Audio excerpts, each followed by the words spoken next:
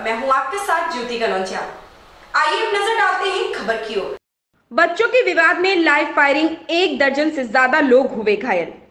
थाना शहजाद नगर में बच्चों के विवाद में लाइव फायरिंग और पथराव हुआ। दोनों पक्षों की आपस में फायरिंग का लाइव वीडियो देख सकते हैं। किस तरह से छत पर चढ़े हुए कुछ युवक अपनी बंदूक और राइफलों से धड़ाधड़ फायरिंग कर रहे हैं? प्रधान पक्ष और प्रत्याशी प्रधान में हुई फायरिंग का लाइव वीडियो। फायरिंग और पथराव में एक दर्जन से ज़्यादा लोग घायल हुए। घायलों को जिला अस्पताल में कराया गया भर्ती। मौके पर पहुँचे अपर पुलिस अधीक्षक संसार सिंह ने किया मुआयना। शहजाद नगर थाना क्षेत्र के दुर्गन गला गाँव का मामला। आज थाना शहजाद नगर क्षेत्र में एक समुदाय के लोगों के बीच झगड़ा हो गया। क्या है मामला सर? आज दिनांक चौदह पाँच दो हज़ार इक्कीस को दुर्ग नगला थाना शहजाद नगर में एक ही समुदाय के दो पक्षों के बच्चों में वाद विवाद हो गया था। झगड़ा बढ़ गया और दोनों तरफ़ के लोगों में मारपीट और फायरिंग की घटना हो गई। दोनों पक्षों के बीच में कुछ लोग घायल हुए, जिन्हें इलाज हेतु जिला अस्पताल भेज दिया गया। तो गंभीर रूप से घायल एक एक व्यक्ति को हायर सेंटर रिफर किया गया है। पुलिस द्वारा मुकदमा लिखकर विधिक कार्रवाई की जा रही है। मैं आज दोपहर अपनी दादी से और दादा से ईदी मिलने के लिए गया था। कुछ रोज पहले ग्राम धरंगला में मेरे ताया का इंतकाल हो गया था। मैं उनका दुख में शामिल होने के लिए गया था। वहाँ से मैं वापसी आ रहा था तो जाफ़र जो कि प्रधान पत्नी और हिस्ट्री शीटर है उसने अपने भतीजे और भांजों के साथ में मुझे वहाँ पर घेर ली और तमाम मुझ पर लोगों ने हमला किया। वहाँ पे हमलावर के पास फिर मुझ पर फायरिंग की गई। आपके चोट लगी?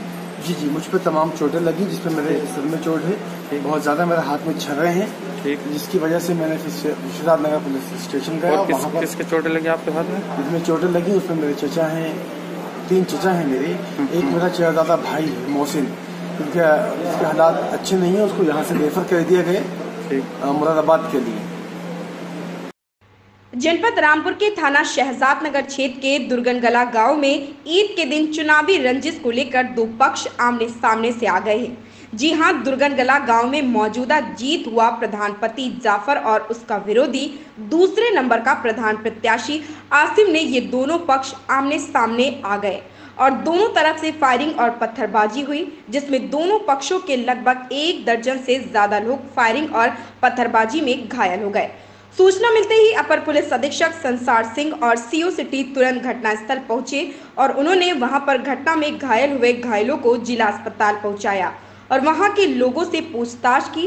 हालाँकि अभी तक पुलिस ने किसी भी पक्ष की ओर से कोई एफआईआर दर्ज नहीं की है। पुलिस अभी जाँच कर रही है और घायलों के मेडिकल कराने में लगी हुई है। छोटे छोटे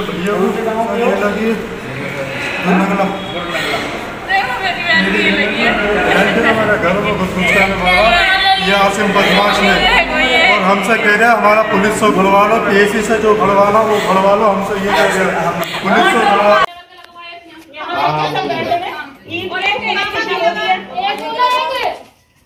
कौन से बात है? मैं बताऊँ शुरुआत इधर से आसिम था। मैं इतनी बात पूछ रहा हूँ? मुझे पता नहीं कौन था लेकिन मैंने तो आसिम देखो। हमें ये पता नहीं कौन था कौन नहीं। लेकिन तो